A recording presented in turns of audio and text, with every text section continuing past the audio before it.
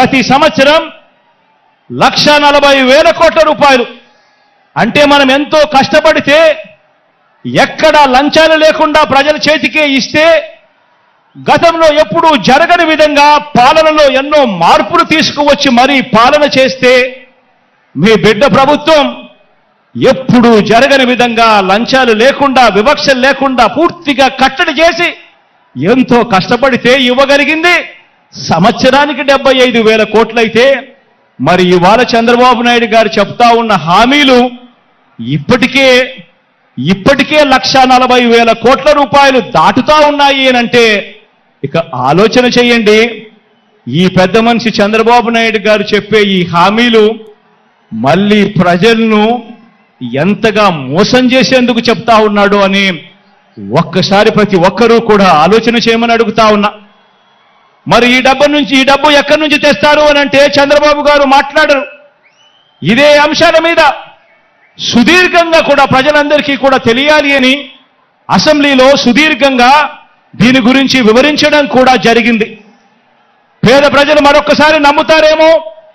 మోసం చేద్దామన్న కుటిల ఆలోచనతో బాబు ఈ వాగ్దానాలన్నీ కూడా చేస్తా ఉన్నాడు. ఎలాగో అబద్ధాలు చెప్పేటప్పుడు ఆ అబద్ధాలకు హద్దులు ఎందుకని భావదారిద్ర్యం ఎందుకని? చంద్రబాబు నాయుడు గారు అబద్ధాలు చెప్పే సిద్ధాంతాన్ని నమ్ముకున్నాడు.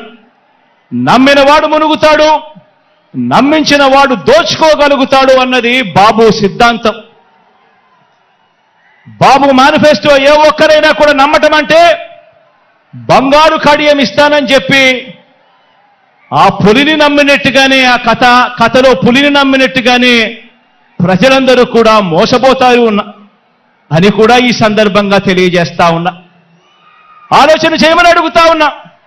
ఈ యాభై ఎనిమిది కాలం యాభై ఎనిమిది నెలల్లో నూట ముప్పై సార్లు మీ బిడ్డ బటన్ నొక్కాడు. ఈ యాభై ఎనిమిది నెలల్లో ప్రజల కోసం మీ బిడ్డ నూట ముప్పై సార్లు బటన్ నొక్కాడు.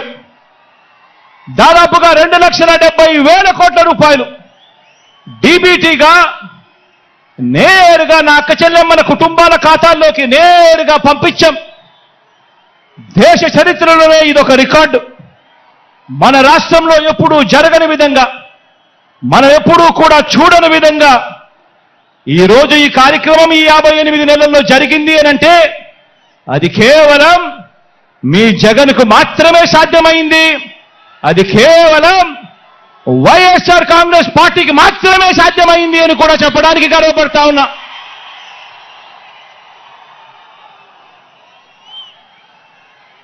ఇవన్నీ కొనసాగాలంటే ఇవన్నీ కొనసాగాలంటే ఈ ప్రయోజనాలు అందుకున్న ప్రతి ఒక్క కుటుంబం ప్రతి ఒక్కరూ కూడా మనకు స్టార్ క్యాంపెయినర్గా వీళ్ళందరూ కూడా కుటుంబాలు బయటికి రావాలి. వారు ఓటు వేయడమే కాకుండా వంద మందికి చెప్పి ఓటు వేయించాలి. ప్రతి ఒక్కరూ కూడా ప్రతి ఒక్కరి దగ్గరికి వెళ్ళి ఓటు వేయించడమే కాకుండా ప్రతి ఇంట్లోనూ కూడా చెప్పాలి. పొరపాటు జరిగితే పేదవాడి భవిష్యత్ అంధకారం అవుతుంది అని చెప్పి ప్రతి ఇంట్లోకి వెళ్ళి చెప్పాలి. ప్రతి గ్రామంలోనూ వెళ్ళి వివరించాలి. పార్టీ కార్యకర్తలు నాయకులు అభిమానులు వాలంటీర్లు మీ పాత్ర ఎంతో కీలకం. ప్రతి ఇంటికి ప్రతి పేదకు ప్రతి ఓటరుకు ఈ ఎన్నికలు ఎంత ముఖ్యమో ప్రతి ఒక్కరూ కూడా వివరించాల్సిన అవసరం ఉంది. ఈ ఎన్నికల్లో వేసే ఓటు వచ్చే ఐదు సంవత్సరాలలో వారి భవిష్యత్తును ఎలా మారుస్తుందో వివరించటం చాలా అవసరం. రెండు వేల పంతొమ్మిది ఎన్నికలకు ముందు మీ జగన్ ఒక మాట చెప్పాడు. గుర్తుందా? రెండు వేల పంతొమ్మిది ఎన్నికలకు ముందు మీ జగన్ ఒక మాట చెప్పాడు. ఆ మాట ఆ మాట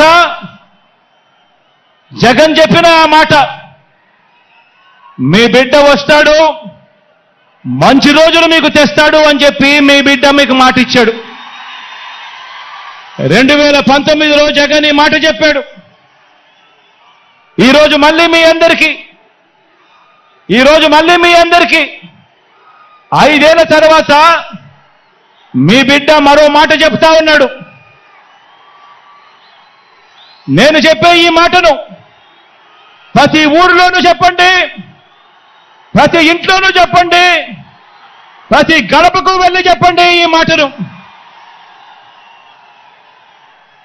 పేదవాడి భవిష్యత్ బాగుపడాలంటే జరుగుతున్న ఈ మంచి కొనసాగాలి అని అంటే మళ్ళీ జగనన్నే తెచ్చుకుందాము అని చెప్పి ప్రతి ఇంటికి వెళ్ళి చెప్పండి. ప్రతి ఊర్లోనూ వెళ్ళి చెప్పండి. ప్రతి గడపకు వెళ్ళి చెప్పండి. పేదవాడి భవిష్యత్ బాగుపడాలంటే జరుగుతున్న ఈ మంచి కొనసాగాలంటే మళ్ళీ అన్నను తెచ్చుకోవాలి అని చెప్పి ప్రతి ఇంటికి వెళ్ళి చెప్పండి. మన అన్న సీఎంగా తెచ్చుకుందాము. మన అన్న ప్రభుత్వాన్ని మనమే రక్షించుకుందాము. బాబు అనే మాయలాడి బాబు అనే మాయలోడి వలలో పడవద్దు అని ప్రతి ఇంటికి వెళ్ళి చెప్పండి.